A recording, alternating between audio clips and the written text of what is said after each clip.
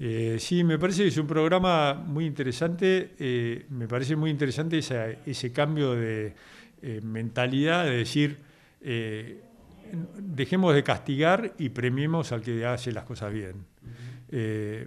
Ir por el incentivo y no por el castigo. Me, parece que eso es buenísimo. Me parece que ha tenido la provincia una inteligencia interesante en eso, que se destaca en, en relación al país y en relación a, eh, a otras provincias. ¿no? Eh, yo eh, agradezco ese tipo de cosas. Bien. Pablo, ¿qué tuviste que hacer, digamos, en tu establecimiento? ¿Qué tuviste que, ¿Cuáles fueron las prácticas como para aprobar el programa y bueno, para, para hoy estar aquí recibiendo el incentivo?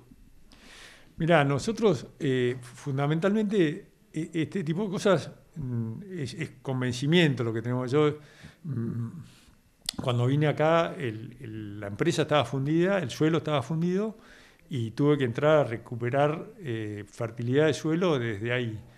Por eso este, me acerqué a la siembra directa, eh, de ahí me enganché mucho con Apresit y, y la verdad que Apresit fue una formación muy interesante, nos dieron una formación muy interesante, con lo cual vos mm, las cosas no las haces para decirlas que las haces, sino por convencimiento de que es lo que, lo que hay que hacer.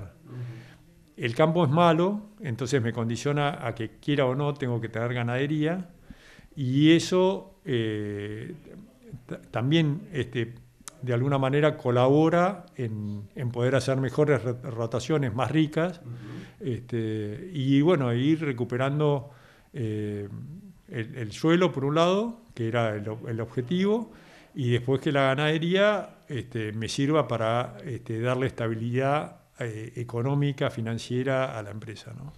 El incentivo, sobre todo, es un reconocimiento social. Yo, eh, mu- muchos, muchos, más que por el cheque, venimos por el cartel. y, y más que por el cartel, por decir, bueno, estamos haciendo las cosas bien.